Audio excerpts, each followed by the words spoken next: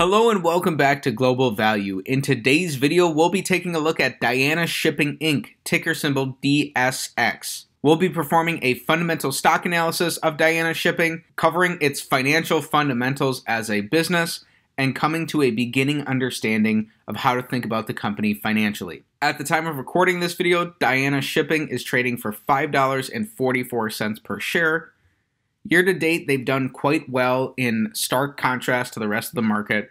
They're up 40%.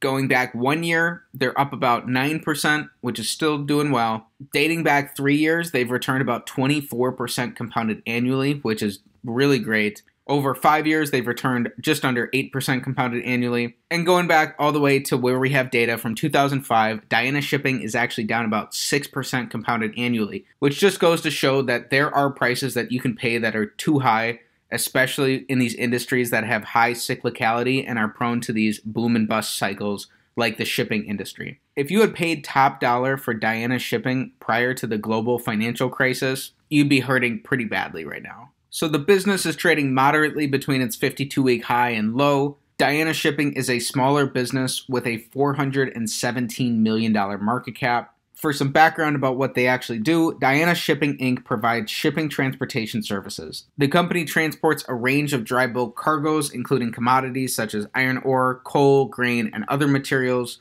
via shipping routes worldwide.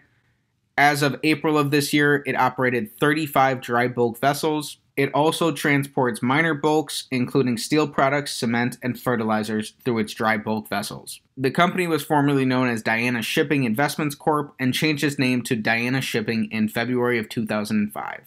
Diana Shipping Inc. was incorporated in 1999 and is based in Athens, Greece. So, Diana Shipping is a Greek dry bulk carrier. With that background of what the business does and how its stock has performed, Let's get right into our analysis. We'll be performing a modified eight pillar analysis as popularized by Everything Money, taking a look at eight key financial metrics to get a holistic understanding of the business's finances. Starting off with pillar number one, we want their average five year PE over the last five years to be below 22.5. So currently they're trading at just under six times earnings. Over the past five years, they've traded at this average of 157 times earnings. So that was very skewed for the very tail end of fourth quarter 2019 as well as the first quarter in 2020. So that doesn't quite do it justice.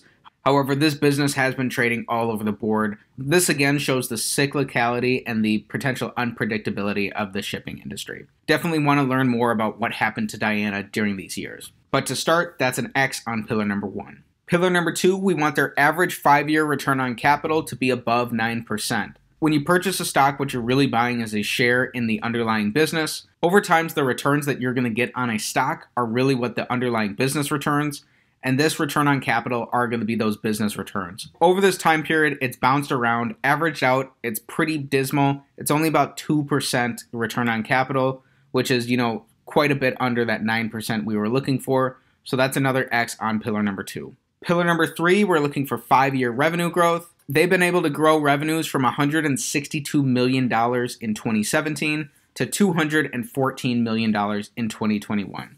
So that's our first check there on pillar number three. Looking at pillar number four, we want to see five year net income growth. So they had very negative net income in 2017. Again, very inconsistent here, although they did have profitable earnings last year, bringing in $57 million of net income.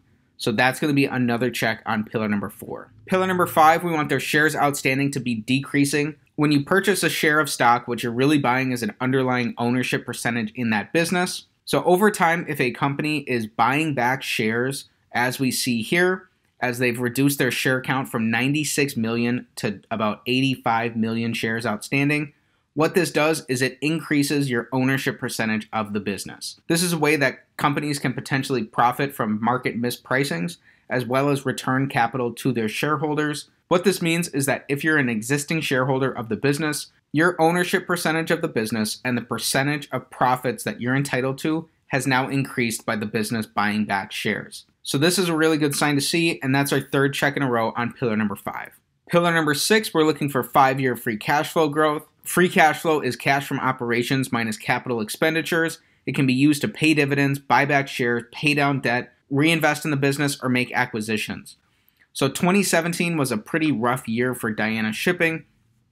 We can see though that even though they've had this up and down fluctuating net income profile over the same time period, they've actually produced a positive free cash flow in four out of the five years. So that's a good sign there. This is a check on pillar number six. Averaged out over this time period, Diana Shipping produces about $21 million of free cash flow. So we'll use that number when we evaluate how they utilize leverage and then how their current market cap, where the business is trading in the stock market, compares to how they're generating free cash flows. Pillar number seven, we want their net debt, which is long and short term liabilities minus cash and short term cash equivalents, to be below their average five year free cash flow multiplied by five. So as of the end of last year, Diana Shipping had $313 million of net debt. When we multiply their average five year free cash flow of $21 million times five, that brings us only to $105 million. So pillar number seven is going to be an X. They're utilizing more debt in their business than we're necessarily comfortable with. Ultimately, it's the more highly levered businesses relative to their free cash flows that are more likely to do significantly worse during hard economic times.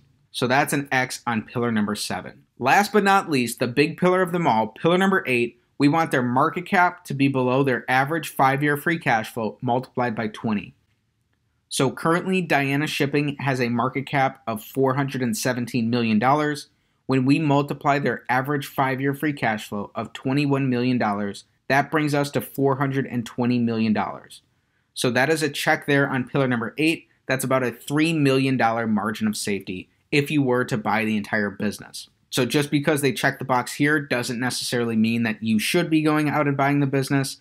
This type of analysis is just a starting point you want to think about the company holistically, and you ultimately want to come to your own independent, deeper understanding of the business. And that can only be done through more research into the company. The very last thing is taking a look at Diana Shipping's dividend profile. So they just started issuing a dividend, which in some respects is similar to a lot of other maritime shipping companies. We've seen this huge increase in cargo and freight costs. So shipping costs have really gone up since the pandemic. And so a lot of these shipping companies have been actively returning capital to their shareholders. Diana is no different. Their dividend payout ratio relative to their cash flows is only 12.5%. So this dividend is easily supported. It's very healthy based on their current cash flows. Well, it's unclear if this dividend is going to continue into the future. It is a good thing that they're actively returning capital to shareholders, especially because they don't have above average returns on capital. So, in summary, Diana Shipping Inc. checks the box on five out of eight pillars. Where the business's stock has traded has been all over the place. They earn below average returns on capital, but they've seen revenue growth, net income growth, and free cash flow growth. Plus, they're also buying back shares, paying out a dividend, and returning that capital to shareholders. The business is more highly levered than we would want, but relative to its free cash flow profile, it looks like Diana Shipping is traded at about a fair valuation right now. So that's not investment advice. Remember, please do your own due diligence, and this type of analysis is merely a starting point. You ultimately want to learn the ins and outs of the business and everything you can about the shipping industry more generally. Again, the shipping industry seems to be near one of these boom type cycles where a large majority of shipping businesses have done quite well over the past year or two. Where they go from here, no one knows, but you need to have a deeper understanding to be comfortable investing into a business. That's it, That's it for our fundamental analysis of Diana Shipping Inc., ticker symbol DSX. If you enjoyed the video, please be sure to like the video, subscribe to the channel for more stock analysis videos, and comment down below what business you want me to take a look at next. Thanks for learning about Diana Shipping with me, and have a great day.